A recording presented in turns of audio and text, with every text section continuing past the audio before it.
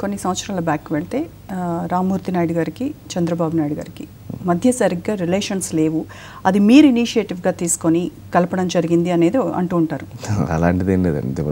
అంటే they had political differences other than that family wise they've always been together only like a few political equations that's that's a general thing that happens అంతకుమించి అయితే I don't think there's any difference nothing more than that అంతకుమించి because like both are in the same field so automatically there be some political differences that too that was way long back post that ఏంటంటే even in two thousand nine election daddy campaign చేశారు TDP తరఫున so it was all good and then so two thousand eighteen ఎలక్షన్స్కి Rohit campaign చేస్తారా we part of the family and part of the party ఖచ్చితంగా will be campaigning for the party Campaign చేస్తారా? Competition no I'm not interested in politics as of no I'm happy doing my నా సినిమాలు నాకు it's giving me more energy than anything else so happy హ్యాపీగా సినిమాలు చేస్తాను.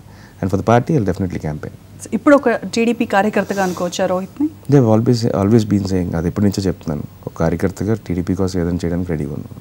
మీ నాన్నగారికి బాలకృష్ణ గారికి చాలా మంచి రిలేషన్ ఉండేదట. సో బాలయ్య బావ అలా చెప్పాడు బాలయ్య బావ ఇలా చెప్పాడు అని అంటూ ఉంటారు.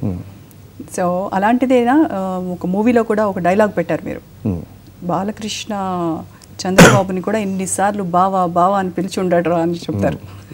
సో అంటే పెదనాన్నగారిని at the same time Balakrishna గారిని. ఇద్దరిని కార్నర్ చేసినట్టున్నారు.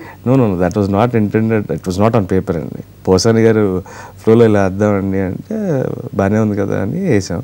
Even in the audio function Balayya garu బాగా ఎంజాయ్ చేశారు అది. It was just on human note nothing else అది we didn't wantedly put it on paper also Posani garu స్పాంటేనియస్గా ఇలా చెప్దామమ్మా అంటే "ఓ, బాగుంది చెప్పండి అని చెప్పాం అంతే.